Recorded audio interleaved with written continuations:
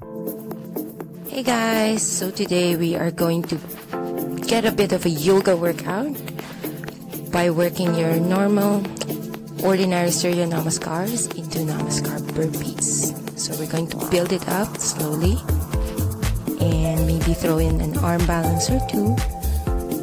And for this arm balance, you can actually just go into your regular chaturanga push-ups or you can take this challenge arm balance push-up.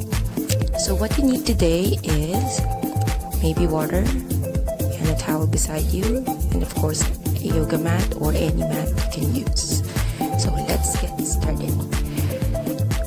So today I chose to roll on the glutes. I chose this small roller because it's more targeted as tightness in the glutes can sometimes cause sometimes cause pain outer thighs, maybe around the hips. So I like smoothing in them out so then I get the best of my workout. Okay, so I put it on one side and then on the other side. But if you have the straight big roller, you can just roll on both sides simultaneously. So here goes.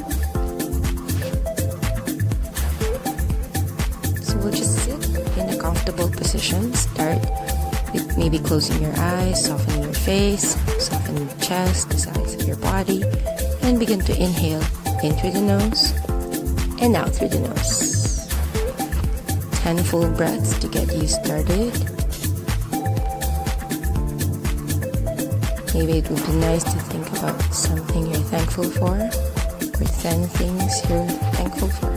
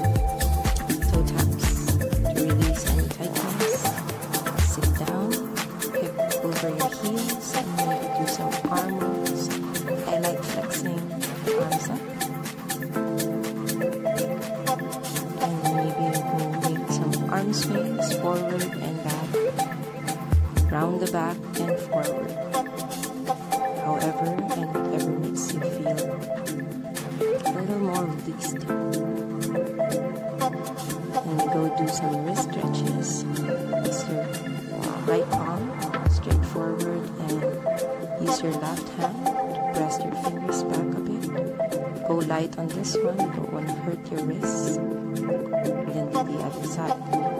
Take a few breaths here.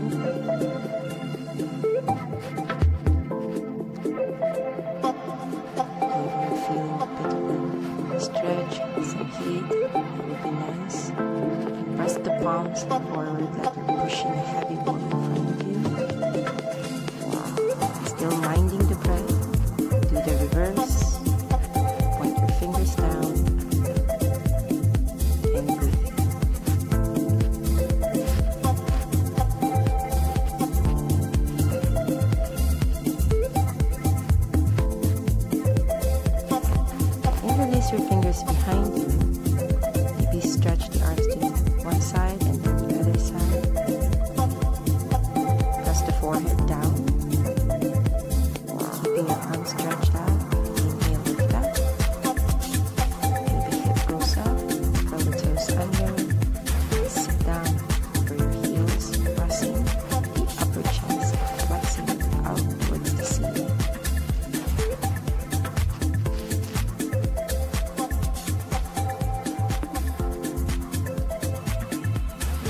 few breaths, hip up again, untuck your back toes to really flex the tops of your feet.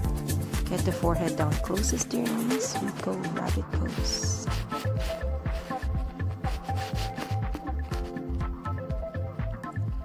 And then you sit back up. And then we go camel. Hip forward.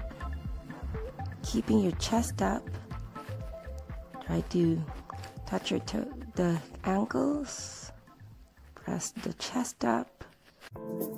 And we go on all fours. Straight up for downward facing dog. take a few breaths here. And then go right foot in, left foot to follow, slowly rise up, arms up. And then go hands to your heart center. And we begin Surya Namaskar A. So we vary this one with just dropping your knees, your chest, and your chin instead of your regular chaturanga. If you don't feel like doing your regular one today, step the right foot in and the left foot to follow. Straighten the spine before you bow forward and go reach up, look up, hands to your heart. On the next one, we do Surya Namaskar in regular Chaturanga. So here you straighten the spine,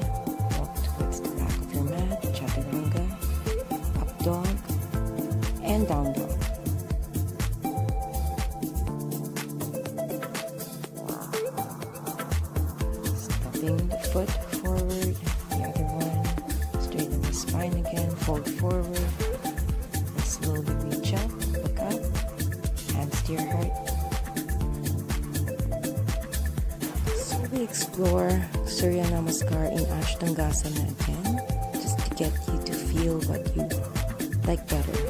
That's dropping your knees, your chest and your chin, reach up, cobra, exhale, down dog, between the knees, and step the right foot, the left foot forward, straighten the spine, fold forward, inhale again, reach up, and exhale, hands to the heart. So find what works for you. Go Surya again. So this one we're gonna add hopping towards the back of your mat, Chaturanga, Cobra, and Down Dog. So be ready, decide whether you walk or you hop this way to the front of your mat. And we go reach up again, look up, and swan dive two more times on your own. Remember to breathe and do what you can.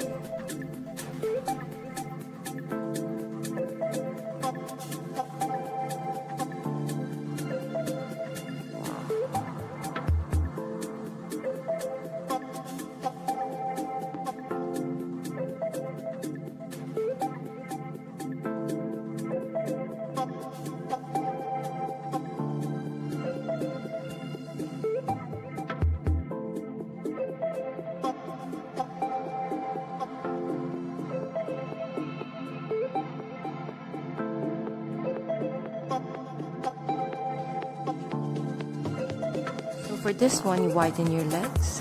Inhale, reach the arms up. And squat onto Malasana. Palms down. One leg back, the other leg back, Chaturanga. Cobra. And go downward facing dog.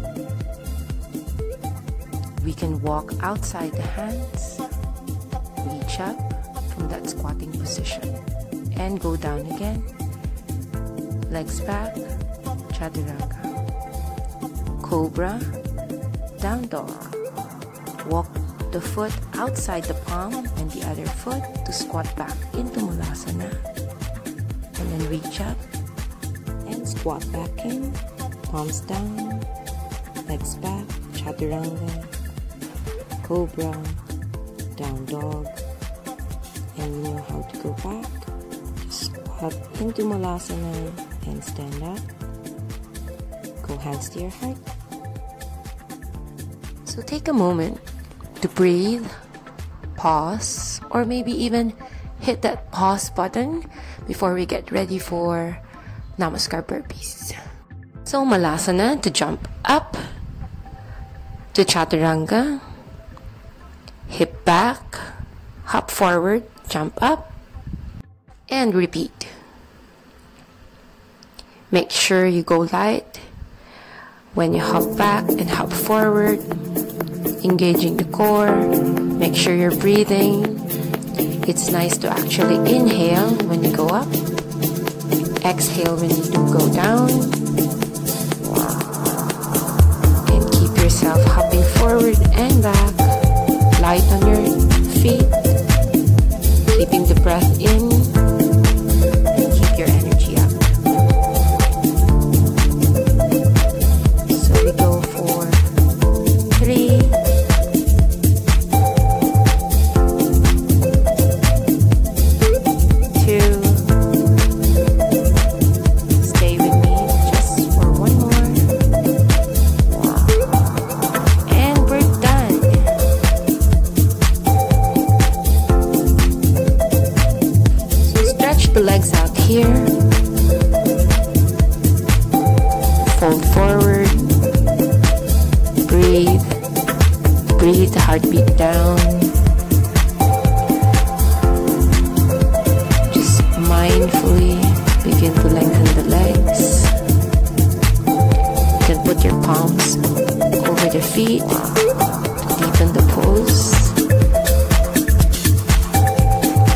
Most importantly, you breathe.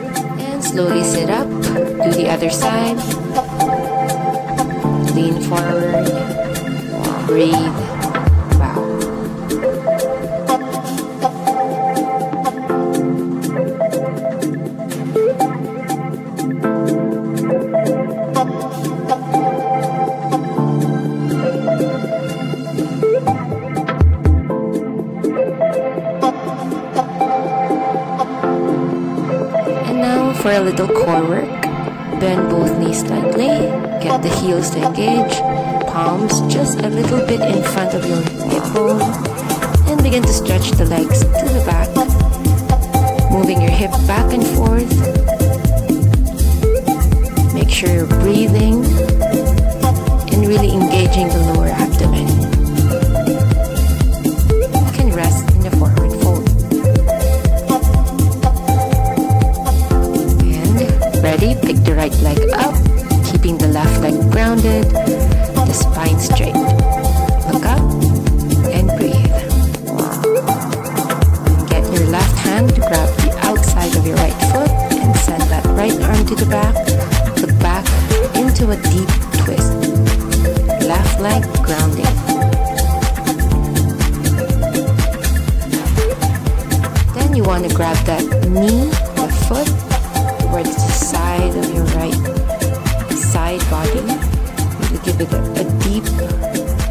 Squat-like experience. Then press that leg up your shoulder if you can. You can stay here just with your palms gripping the floor, looking back. Or see if you can slightly bend that left leg and go hip back five times, like when we were doing the core exercises a while ago. And you get the option to go 8 angle pose and maybe do arm balance push ups. Or you can just go your regular push up position in plank pose and then just go up and down a few times to get that arm workout. And on to the other side.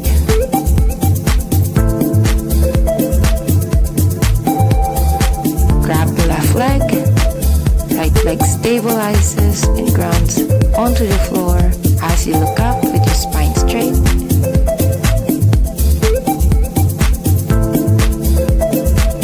Then you use the other hand to help you go twist towards the back, keeping your legs stable, your hips stable,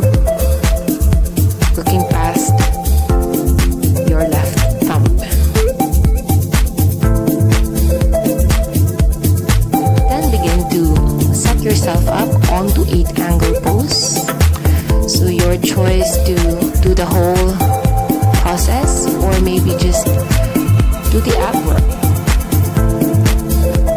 Try to stretch the legs hip towards the back and that should give you a nice core workout. So you may decide to go just plank pose in this position and go do your push-ups or do the arm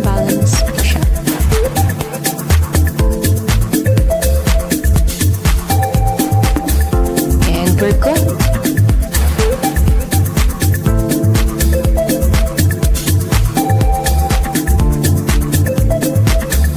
begin cooling down, bend both knees onto the side with both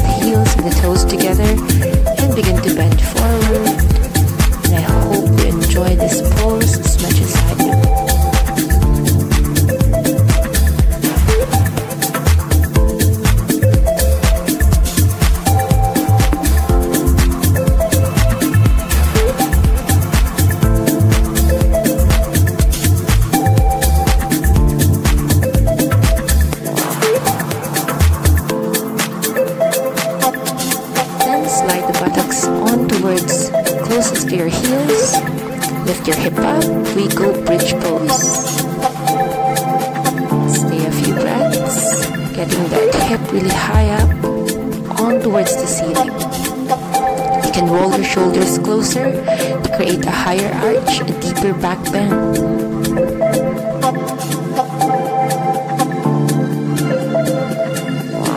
on to happy baby pose, rocking side to side, massaging the hips, body for having done its part. Resting the legs down, either with your knees open or your legs out to the corners of your mat. Interlace your fingers behind your head and lift it up, looking side to side. Before you relax the head, relax the arms by the sides, and get yourself ready for Shavasana, your dead corpse pose. So you actually want to fully surrender the entire body down